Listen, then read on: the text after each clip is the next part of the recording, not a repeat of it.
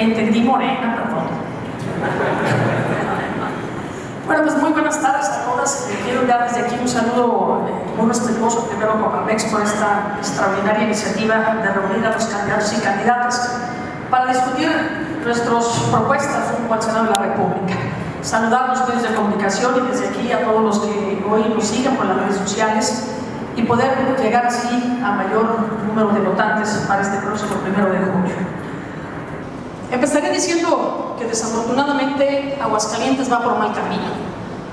Va por mal camino porque se han tomado malas decisiones y los números no mienten. Hace un momento la conferencia de Viridiana dejó muy claro que Aguascalientes en el sexenio anterior entregamos un estado con un crecimiento económico promedio del 7.8%. Hoy, lamentablemente, apenas si llegamos al 3.4%.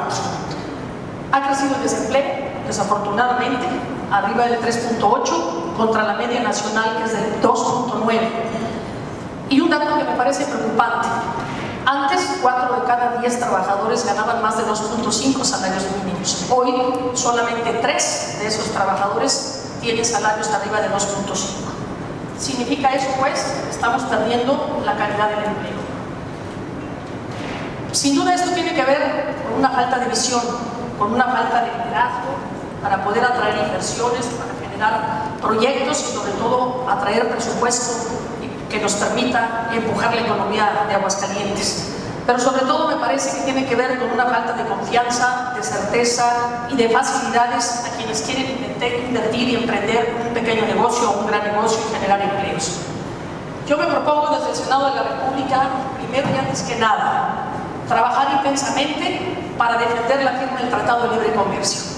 La importancia que tiene el Tratado de Libre Comercio para la economía nacional creo que es por demás sabida por todos los aquí presentes. Pero si para alguien es importante, es sin duda para los estados que hoy estamos ligados a la industria automotriz. Pensar el Tratado de Libre Comercio, sin el Tratado de Libre Comercio, el futuro de Aguascalientes sería terrible. Simplemente tomemos en cuenta que hoy 180 mil personas en Aguascalientes de una u otra manera se benefician de la industria automotriz. Y lamentablemente los primeros indicios están a la vuelta. Dejamos de vender el 10% de automóviles de los que se producen en México y en la producción de automóviles bajamos en punto 5. Ya tuvimos los primeros paros técnicos en Aguascalientes y esto es una amenaza para la economía del Estado.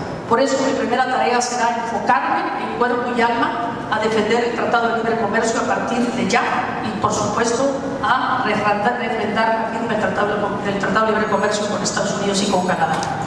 Segundo, creo que hoy es momento sin duda de impulsar los incentivos fiscales. Incentivos fiscales a la productividad, incentivos fiscales a aquellas empresas que inviertan en innovación, ciencia y tecnología. Estoy absolutamente convencida que necesitamos traer empresas de innovación. Efectivamente ha sido sin duda la parte que ha tomado el acuerdo. Eh, yo me iría definitivamente por la reducción del impuesto sobre la renta a los trabajadores que tengan ingresos menores de 10 mil pesos. Me parece que es una inyección directa al salario y me parece que es una medida que no impacta financieramente tan fuerte al erario público, son el 1.5. Creo que es una medida rápida, inmediata y que nos puede permitir elevar el salario de manera pues, muy importante. Y por otro lado, yo le apuesto a que replanteemos el esquema fiscal en México. Yo me voy por la línea de bajar el impuesto sobre la renta y revisar los esquemas de recaudación de impuestos como pueden ser los impuestos al consumo. Bueno, Meridiana, acabaste con mi ponencia, ya no necesito las gráficas porque ya las diste todas.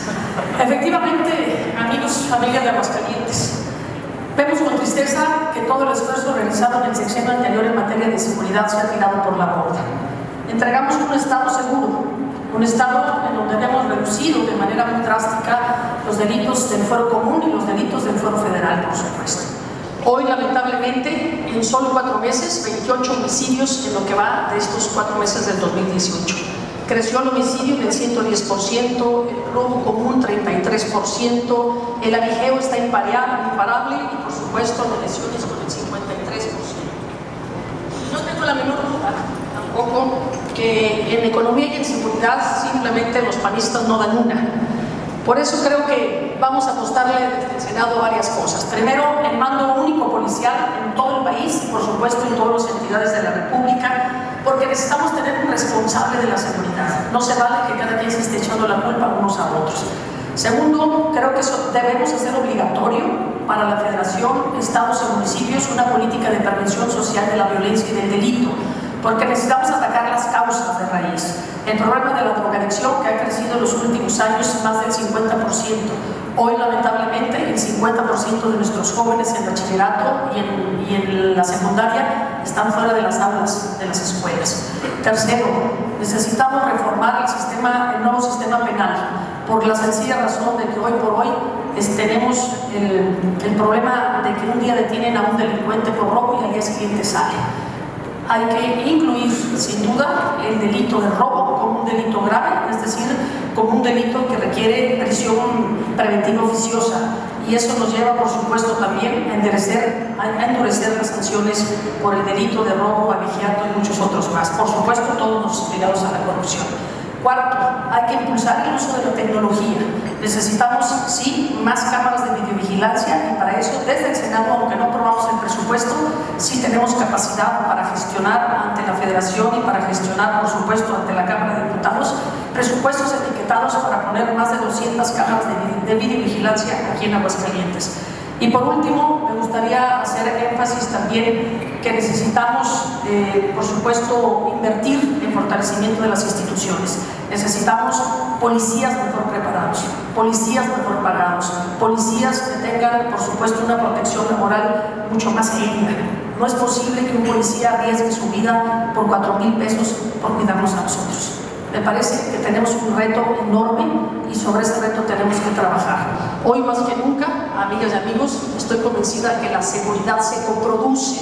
Necesitamos que la sociedad se involucre, necesitamos que ustedes participen, los empresarios, necesitamos entre todos hacer un frente común contra la delincuencia. Estaría absolutamente a favor del mando único, porque estoy convencida y nosotros lo vivimos aquí en carne propia.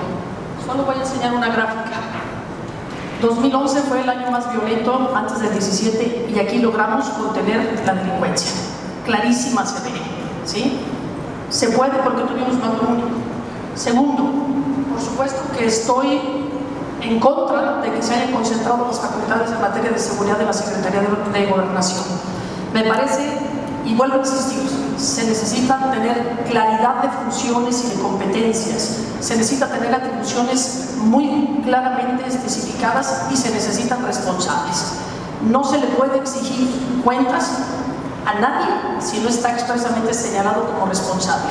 Lo que hoy estamos viviendo en Aguascalientes y en una parte de México es este echarse la culpa unos a los otros, este decir de que este no es competencia del gobierno del Estado, sino competencia del municipio, esto no es competencia del municipio, sino de la federación. Me parece que hoy más que nunca queda claro que el camino es el mando único, ya sea, bueno, gracias. A ver, yo creo que nos queda claro, y es por demás sabido hoy por hoy, que la corrupción sin duda es un problema que atañe a todas, a la sociedad, lamentablemente, y a las instituciones. Yo estoy convencida que la corrupción finalmente tiene más que ver con personas que con partidos. Habemos buenos y habemos malos en todos los partidos. Pero también creo que es una corresponsabilidad de todos atacarla y estoy convencida que todos los que estamos aquí queremos aportar a ello. Partiría, partiría de, primero, de que necesitamos un Estado de Derecho sólido, segundo, necesitamos instituciones fuertes y tercero, la participación ciudadana y la autonomía de las instancias fiscalizadoras. Yo me voy a concentrar en consolidar los tres sistemas, el sistema anticorrupción, el sistema de transparencia y el sistema de evaluación.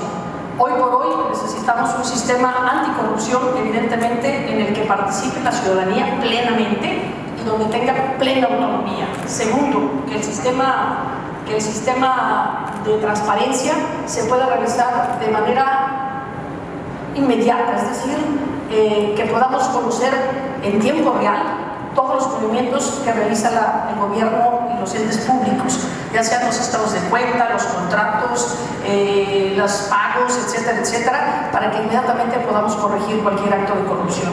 Y tercero, más importante todavía, voy para proponer una ley general de evaluación gubernamental. Este que todavía no logramos, que es revisar cómo gastamos, cómo invertimos el gasto público. Lamentablemente siempre nos fijamos en cómo y qué ingresa, pero nunca cuidamos cómo gastamos. Hoy por hoy me parece que hay un gran vacío en esta materia y voy a trabajar, estoy trabajando ya sobre una iniciativa de ley general de evaluación gubernamental y de esta manera poder eventualmente también eliminar otro tipo de corrupción que tiene que ver con la ineficiencia y con la ineficacia en el quehacer público. Si no logramos avanzar para medir por resultados ¿sí? al gobierno, entonces estamos de alguna u otra manera tolerando la corrupción. Vamos por ese camino. Y por último, decirles, voy a llegar al Senado con el apoyo de ustedes. Les pido que me contraten, que me contraten para sumar mi trabajo, mi esfuerzo, mi experiencia y mi capacidad para servirle a Aguascalientes. Quiero que me contraten porque desde ahí sin duda voy a aportar lo mejor de mí para que a México le vaya bien, para defender sus valores, el valor de pleno de la libertad, la libertad de expresión, la libertad de libre empresa, la propiedad privada y por supuesto que sí, la democracia plena de nuestro país. Voy desde el Senado a defender los valores y principios de los mexicanos. Lorena, nos hablas de eh, que estás preparando una ley, ley, general de evaluación gubernamental. Sin embargo, ya hay organismos que se encargan de la evaluación gubernamental, como la Auditoría Superior de la Federación, incluso el Comité, el Comité de Vigilancia al Interior de la Cámara. No sé si nos puedas decir por qué necesitamos más. A ver, primero porque hoy las instancias que hacen evaluación básicamente no tienen un modelo en donde quienes realicen la, la evaluación sea externa, multilateral y sobre todo que los criterios de evaluación se definan por entes distintos. Hoy por hoy el gobierno se pone sus metas, hoy por hoy el gobierno se las evalúa y hoy por hoy el gobierno decide si se alcanzaron o no las metas. ¿sí? Hoy por hoy el gobierno dice que si no las alcancé, pues en el camino las ajustan para nunca quedar mal. ¿sí? Eso te lo digo por experiencia propia. Entonces, ¿qué tenemos que hacer?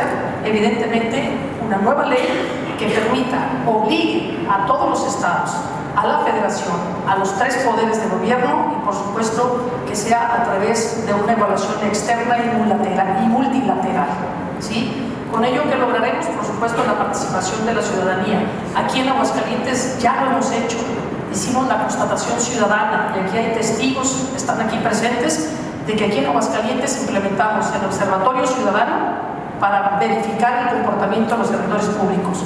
Dos, la constatación ciudadana para que nos supervise la sociedad. Gracias, Camila. Pues vuelvo a repetirles. Primero y antes que nada, eh, una política de prevención social de la violencia y del delito, porque es justo el delito del, del fuero común en donde se refleja la falta de oportunidades, por supuesto, donde se refleja también la pobreza, como dice Daniel, donde se refleja la carencia de oportunidades en las escuelas, donde se refleja sin duda el problema del alcoholismo, de la drogadicción y por supuesto donde se refleja también la impunidad. Por tanto, además de la política de prevención, el mando único, además la reforma del artículo 19 constitucional para hacerlo delito grave y además de todo eso, política de prevención situacional. He dicho. Pues muy buenas, muchas gracias por esta oportunidad brillante de estar aquí. Yo quiero solamente hacer una enorme reflexión. Aguascalientes va por mal camino. Se han tomado malas decisiones.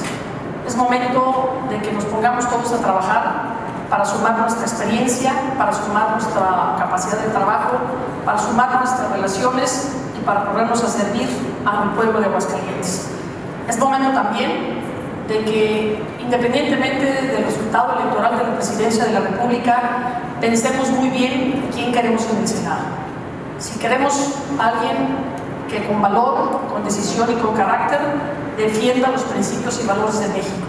Si queremos a alguien que con experiencia pueda abanderar los problemas y las preocupaciones de ustedes, que necesitamos sin duda defender la libertad de expresión, necesitamos defender la libertad de empresa, necesitamos defender la libertad privada, necesitamos, por supuesto, defender a capa y espada los principios democráticos de este país. Pero también necesitamos gente con experiencia, gente con carácter que le pueda sumar al gobierno de Aguascalientes para ayudarnos a salir adelante. Muchísimas gracias.